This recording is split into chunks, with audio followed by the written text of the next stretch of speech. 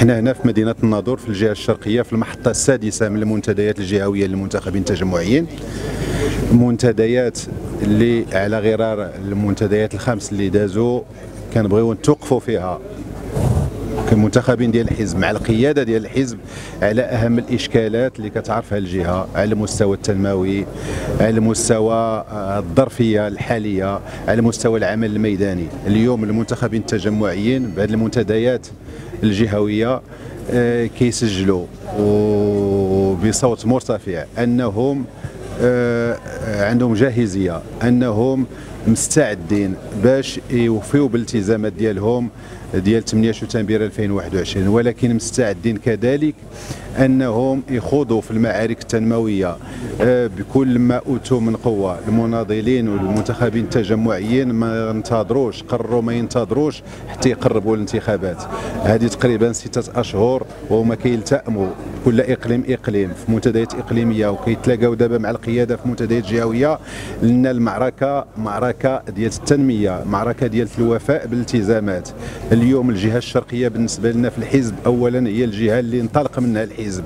تنتذكروا اليوم آه، حمد عثمان كواحد من المؤسسين ديال الحزب اللي هو واحد من أبناء هذه الجهة ولكن كنعتبروا كذلك الجهة جد مهمة استراتيجيا جيوسياسيا.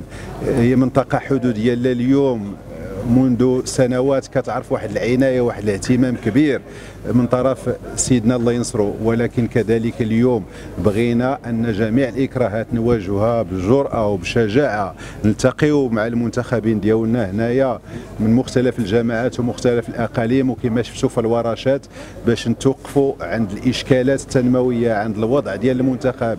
كنسمعوا الإكراهات الكثيرة ديال الجفاف ديال التنشيط الاقتصادي الإكراهات اللي مرتبطة بمغاربة العالم هنايا اللي واحد العدد كبير منهم كينحدر من هذه الجهة.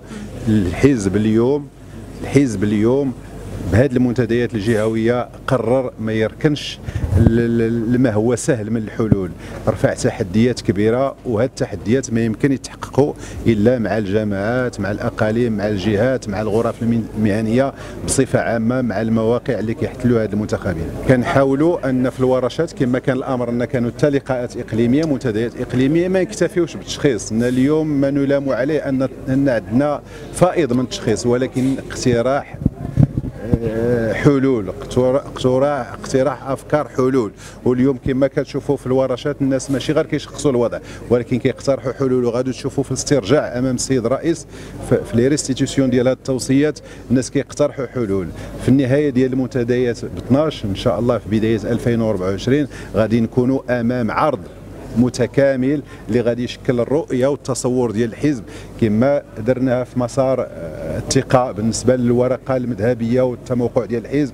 درناها في مسار المدن قبل الانتخابات باش نعرفوا شنو هو التشخيص ديال هذه المدن وهذه المجالات اليوم. على مستوى مسار التنمية بغينا واحد ورقة الطريق اللي تشكل حقيقة آه، الرؤية لا فيزيون ديال الحزب بخصوص المنتخب. عندنا ما يقارب 11000 منتخب. آه، قلنا وتنكرروها اللي إحنا معولين عليها اليوم بغينا نعرفوا الوضع ديالهم وبغينا نعرفوا كيفاش كيشوفوا جماعة واحد الرؤية جماعية مندمجة ديالتهم بخصوص الجماعات اللي كيسيروها والأقاليم والجهات اللي هما متواجدين فيها.